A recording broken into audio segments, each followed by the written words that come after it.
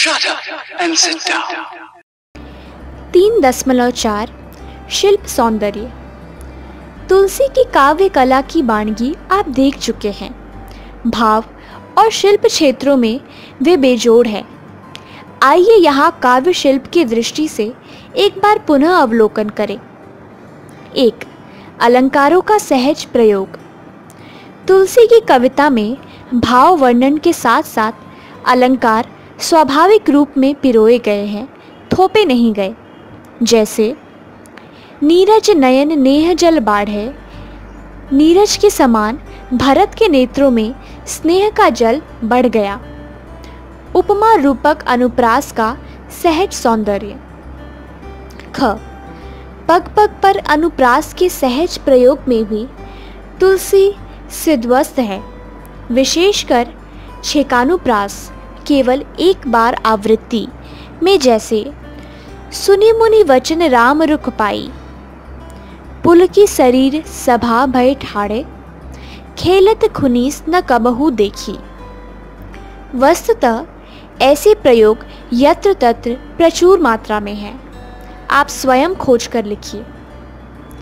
वृत्त्यनुप्रास एकाधिक बार आवृत्ति का एक उदाहरण दर्शनीय है। हृदय हेरी हारेउ सब ओरा एक ही भांति भले ही भल मोरा।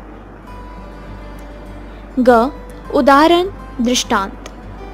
फाई की कोदव बाली सुसाली, मुक्ता प्रसव की संबुक काली। घ, उपमा, मोर अबाग उदधि अवगाहु। दो, नादात्मकता। मधुर वर्णों के प्रयोग से कविता में नादात्मकता भी तुलसी की कविता का प्रमुख गुण है।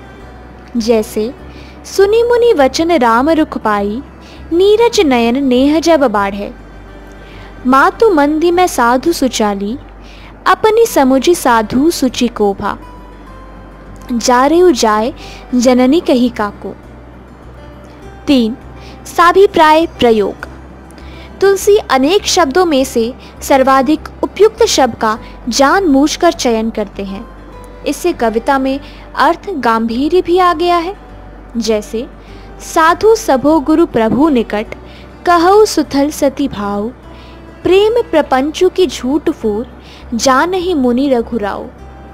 उपर्युक्त दोहे में झूठ न बोलने के लिए पाँच बहुत ही सबल कारण एक दोहे में पिरोए गए हैं। चार, प्रांजल अवधि। तुलसीदास ने मानस की रचना अवधि भाषा में की है। किंतु उनकी अवधि बहुत मधुर प्रांजल शब्दावली से युक्त है। जैसे, पुल की शरीर सभा भय ठाड़े, नीरज नयन नेह जल बाढ़े। पाँच, दोहा चौपाई छंद, दोहा और चौपाई तुलसी के प्रिय छंद है। इनसे कथा, प्रवाह में सहायता मिलती है और पाठक, श्रोता, रस विभोर हो जाता है। रामचरितमानस में प्रमुख रूप से दोहा तथा चौपाई छंदों का प्रयोग किया गया है। दोहा छंद के बारे में तो आप रैदास को पढ़ते हुए जान ही चुके हैं। चौपाई के बारे में संक्षेप में नीचे दिया जा रहा है। आइए इसे समझे। चौपाई। चौपाई एक प्रकार का मात्रिक छंद है। इसमें दो चरण होते हैं। दोनों चरणों की मात्राएँ बराबर 16-16 होती है। इसलिए इसे मात्रिक समछंद भी कहते हैं। इस छंद के अंत में दो गुरु वर्णों का प्रयोग आवश्यक होता है। पुल की शरीर, सभा, भय, ठाड़े। सोलह मात्राएँ, अंत में दो गुरु। नीरज, नयन, नेह, जल, बाढ़ है। सोलह मात्राएँ, अंत में दो गुरु। चौपाई छंद का प्रयोग तुलसीदास ने रामचरितमानस तथा जायसी के पद्मावत में अधिक पढ़ने को मिलता है। तीन दशमलव पाँच, आइए स्वयं पढ़े। आपने तुलसी के रामचरितमानस के कुछ अंशों को समझ लिया है। तुलसी के समान ही मलिक मोहम्मद जायसी ने भी अवधि में काव्य रचना की है और दोहा और चौपाई छंदों को अपनाया है। आइए जायसी की कुछ पंक्तियों का भी आनंद ले। फागुन पवन झकोर बहा, चौगुन सियु जाई नहीं सहा। तंजस पियर पात भा मोरा ते पर बिरह दे झचकोरा तरीवर झरही झरही बन ढाका, भई ओनंत फूली फरी साखा। करही बनस्पति हिये हुलासु, मोह कहबा जग दूण उदासु। फागु करही सब चाचरी जोरी, मोहि तन लाई दीन ही जस होरी। जौ पे पियु जरत अस पावा, जरत मरत मोहि रोष न आवा। राति दिवस बस यही जियो मेरा, लगो निहौर कंत अब तोरे। यह तन जारो छार के, कहो कि पवन उड़ाऊ, मकुत ही मारक उड़ी परो, कंत धरे जह पाऊ। शब्दार्थ, सियु, शीत, पियर पात पीला पत्ता ओनंत भई झुक गई। मोही तन लाई मेरा तन विरह से। दीनी जस होरी होलिका सा जल रहा है। कंत पति। जारो छार जलाकर राख बना दूँ। उड़ाऊं, उड़ा लो। मकू थोड़ा सा कंत धैर्य है मेरे पति जहाँ। पाऊँ अपने पैर रखे। अवधि की उपर्युक्त पंक्तियों को आपने पढ़ा। क्या आप इसका सौंदर्य भाव समझ पाए? फागुन का, बसंत का मौसम आया है। चारों ओर फूलों फलों से लदी डालें झुक गई हैं और नायिका अपने को पीले पत्ते सा कह रही है। सोचिए क्यों? क्योंकि उसका पति उससे दूर है। वह विरह की अग्नि में जल रही है, जैसे होली जल रही है। उसे उसका पति जलता हुआ भी देख ले तो उसे जल मरने का पश्चाताप नहीं होगा। अंत में दोहे को एक बार और पढ़िए। जायसी का यह दोहा बहुत प्रसिद्ध है। विरहनी की इच्छा क्या है? जलकर राख हो जाना ही नहीं। वह राख उड़कर कहाँ गिरे? इस पर भी उसका विशेष आग्रह है। पढ़कर बताइए कि वह राख के रूप में कहाँ गिरना चाहती है।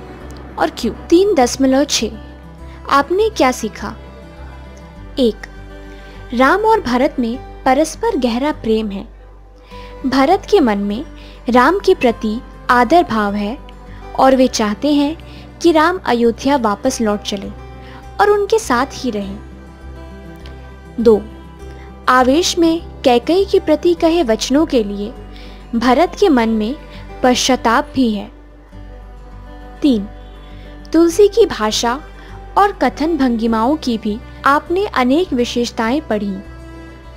कवि शब्दों का प्रयोग बड़ी चातुरी से करता है। मनोभावों के चित्रण में वह सिद्धहस्त है। चार, अनुप्रास के अतिरिक्त उपमा, रूपक, उत्प्रेक्षा, दृष्टांत आदि अलंकारों का तुलसीदास ने अपने काव्य में सुंदर प्रयोग किया है। पाँच तुलसी ने रामचरितमानस की रचना अवधि भाषा में की है। तीन दशमलव सात, योग्यता विस्तार।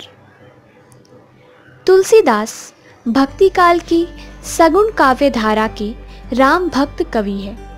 उनका जन्म संवत 1589 1532 ईस्वी में उत्तर प्रदेश के सोरो नामक स्थान में हुआ। कहा जाता है कि उनका प्रारंभिक जीवन बड़ी कठिनाइयों में बीता। बाबा नरहरि दास के वे शिष्य थे और उन्हीं से राम कथा में दीक्षित हुए। तुलसीदास के लिखे हुए छोटे बड़े बारह ग्रंथों का उल्लेख आचार्य रामचंद्र शुक्ल ने किया है। इनमें प्रमुख है दोहावली, कवितावली, गीतावली, रामचरितमानस और विनय पत्रिका सभी रचनाओं में भावों की विविधता तुलसी की सबसे बड़ी विशेषता है। उन्होंने राम कथा के विविध प्रसंगों के माध्यम से पारिवारिक, सामाजिक और राजनीतिक जीवन के आदर्शों को जनता के सामने रखा। तुलसी की भक्ति भावना सीधी, सरल और साध्य है। राम उनके आदर्श है और मर्यादा पुरुष है। रामचरितमानस में तुलसी ने राम और शिव दोनों को एक दूसरे का भक्त दिखाकर वैष्णवों और शैवों में समन्वय करने का प्रयास किया।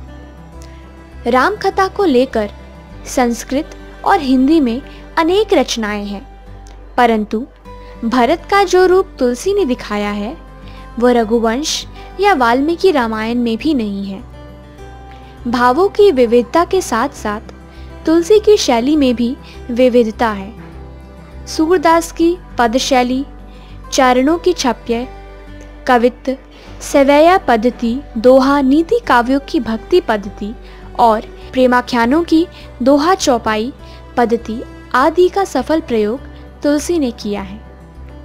तुलसी ने अपने समय की दोनों साहित्यिक भाषाओं, अवधि और ब्रज का प्रयोग किया। मानस के अतिरिक्त अधिकांश रचनाओं की भाषा ब्रज है।